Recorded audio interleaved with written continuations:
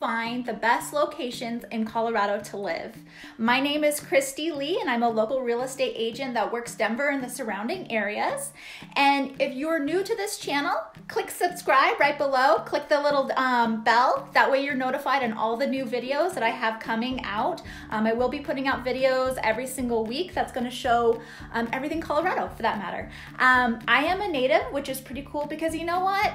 Um, it's very rare to be a native in Colorado nowadays, and I honestly don't know why because it is so amazing uh, to live here because we have the four seasons. There's so many things that you could do year round, um, but for whatever reason, uh, we have more people coming in that I feel like who are staying. So I am a native. Um, I have moved 18 times. Yes, you heard that correctly, 18 times. Um, I'm sure my parents were completely frustrated with me uh, when I was younger because they're the ones that were moving me every single time. Now that I'm older and I'm married, uh, I'm sure they were extremely happy to pass off the torch to my husband to help me move. In fact, the last seven years of knowing him, we've moved five times. Now, let me be clear. I don't love moving. Um, it's, it's, it's kind of a pain in the ass. We all know that. We don't like to pack. We don't like to, you know, to redecorate. Well, actually, I do like to redecorate. Um, but more or less, I just like to get to know new areas. I like new things, new houses, um, new apartments. You know, back in the day. So that's why I've gotten to know um, Colorado um, different areas in Colorado that I absolutely love, and that's what this video is all about. So I'm gonna take you on a little bit of a tour on my personal favorite places to live. I've lived um, on the west side, Arvada, Broomfield area. Those are gonna be closer to Golden, um, Boulder. I've also lived as far south as Colorado Springs as far north as um, Erie, Colorado, which is northern uh, Denver. And then I've lived everywhere up and down the front range. So let's start. Let's go ahead. Let's get it kicked off and let me take you around town. See you soon.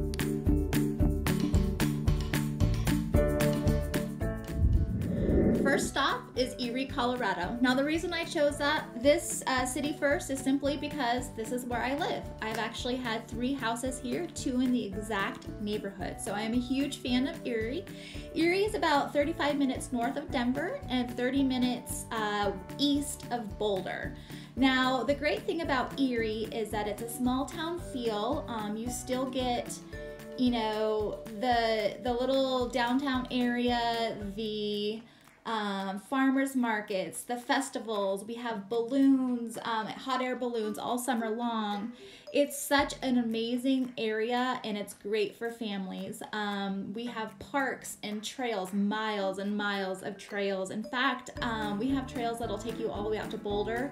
Um, so if you're into those type of things, um, Erie is a great place to live mainly because the cost of living in Erie is quite a bit less than Boulder, um, but you still get the feel of Boulder um, to an extent. So, a lot of people, to be perfectly honest, I had never even heard of Erie until I had met my husband, even though I am a native, which is which is pretty funny. Um, but many people have actually gone towards Erie mainly because it is so much more affordable to live out here than it is to live in Boulder. Um, the population out here is just over 24,000 people, and we are actually both in Weld County and Boulder County. Now, um, there's a line that separates us. It's um, County Line Road, and that is going to be separating the Boulder, or excuse me, the Weld and the Boulder counties. Um, if you live on the Boulder County, it is going to be a little bit more expensive as far as taxes are concerned. Weld County is definitely going to be less. So, um, me personally have always lived on the uh, Weld County side. My favorite parts of Erie and it's downtown Erie. Downtown Erie is pretty special to me because it still offers that small town feel, yet just in a little bit bigger city. Erie in general is actually named one of the best cities to actually raise a family in in all of the nation. So that's actually pretty cool for all of us. Downtown Erie offers a lot of things year round. We have during the summertime um, concerts in the park. We have farmers markets. Um, during the Halloween season, we have Boo on Briggs, where the little kids get to go trick or treating up and down the street and get candy from the locals. And during the Christmas time, um, during the holidays, we have a parade that has Santa Claus and the local high school who comes through with all of their um, you know, floats all decorated. It's just a really great way to bring the entire community together. Next up, Broomfield, Colorado. Now, I spent most of my adult life in Broomfield, Colorado, working, playing, uh, and living. So let's get into it. Broomfield is located about 30 minutes west of Denver and about 17 minutes east of Boulder. It is also located at the bottom of the spectacular Flatirons Mountains.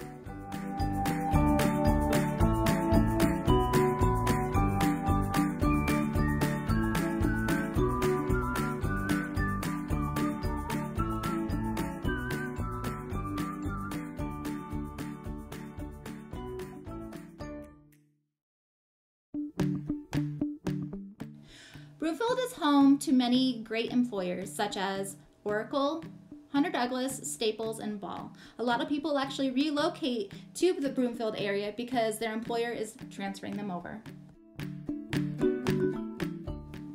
The population in the Broomfield area is 69,000 people, or just over, and the cost for the average house in this area is about $515,000.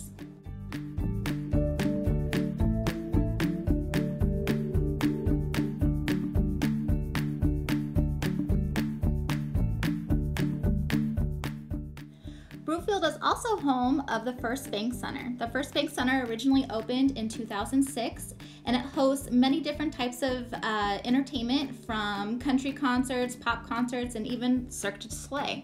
It's a great location for both Boulder, Fort Collins, and Denver for people to get their entertainment um, and still be in the suburbs.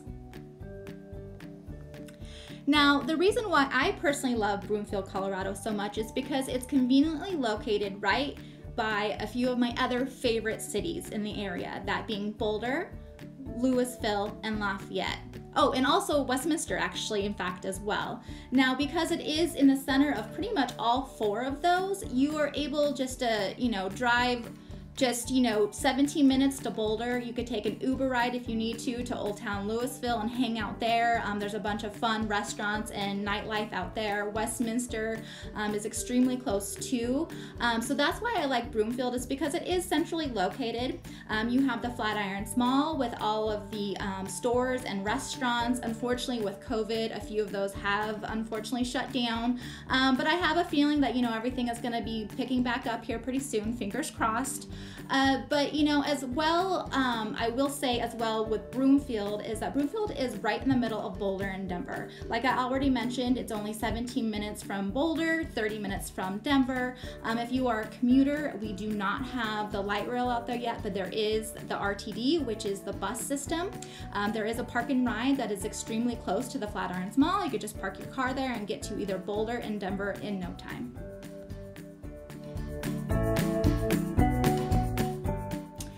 Last stop on our initial tour together is going to be Arvada, Colorado. Arvada is located 20 minutes west of Denver and about an hour to hour 15 minutes to the closest ski resorts.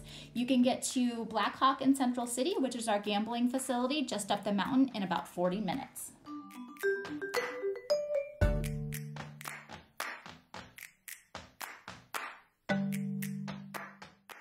People move to Arvada because it is so close to the foothills. They could get up to the mountains to go biking, hiking, skiing, or anything in no time.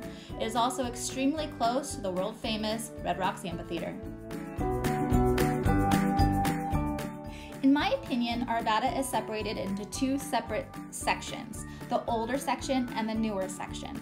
The newer section is going to be um, closer to the foothills on the west side of the city. The older section is going to be on more on the east side, more towards Old Town Arvada. These homes are going to be have built in about the 1950s, but a lot of them have actually been renovated um, and definitely are just as expensive as the newer ones. People like being close to that Old Town um, feel because there's a bunch of things going on down there and that's also where the light rail stops.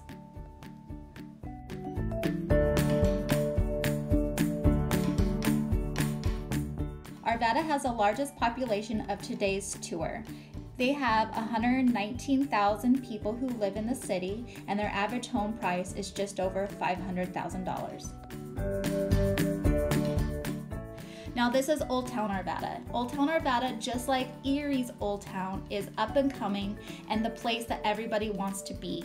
It has restaurants and breweries. They always have activities year round to help bring the community together, like festivals and races and movies in the park. Old Town Arvada is also the home of where the light rail is. Now the light rail is super important to Arvada because it helps connect Denver and surrounding areas of Denver to Arvada. It took a very long time to finally get the light rail out to that area, and we finally have it, and people want to live close to it because it helps them get to work easier, helps them get downtown easier, and it just overall is a great addition to Old Town Arvada. So that's it. Those are my favorite cities uh, around town. Please let me know if you'd like additional information about any of the cities um, or if you want me to, you know, do a video on a specific city that you're actually interested in. I'd be more than happy to. Drop a comment right below, um, like my page, and again, subscribe um, so you could get new videos when I come when they come on weekly. Um, I look forward to um, hearing from you. Reach out to me anytime if you're thinking, even thinking about possibly moving to Colorado, because I could give you some tips and tricks. And um, I get calls from around the nation of people who are interested in moving here, and I absolutely love talking to all of you. Talk to you soon. Bye bye.